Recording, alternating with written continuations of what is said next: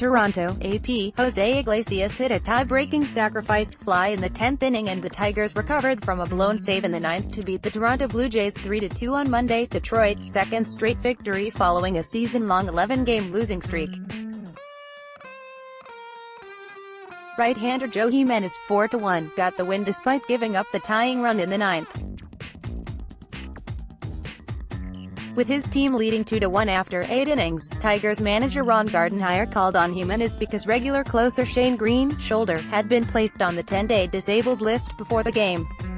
Jimenez loaded the bases with two outs and walked pinch hitter Justin Smoak on a 3-2 pitch to force in the tying run. Niko Goodrum hit a one-out triple off Sung Wino, 4-3, in the 10th and scored the winning run when Iglesias followed with a fly ball to right. After Buck Farmer gave up a leadoff single in the 10th, Blaine Hardy finished for his first career save. Tigers right-hander Mike Fiers pitched a season-high eight innings but didn't figure in the decision and remains winless in five starts. An efficient Fiers threw just 89 pitches, including 67 strikes. The right-hander allowed one run and three hits. He walked one and struck out five.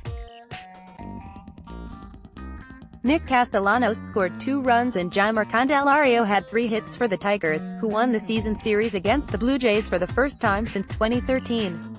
Detroit took four of seven from Toronto this season.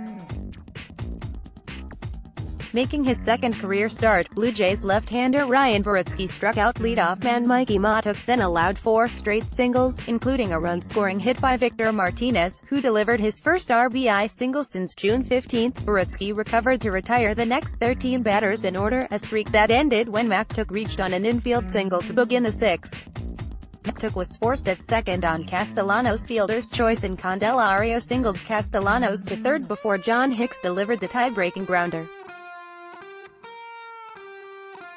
Borucki allowed two runs and six hits in seven innings.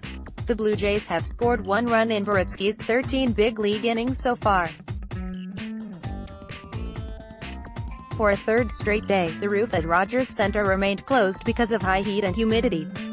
Toronto's Kendrys Morales started at first base but moved to third in the 10th, his first career appearance there.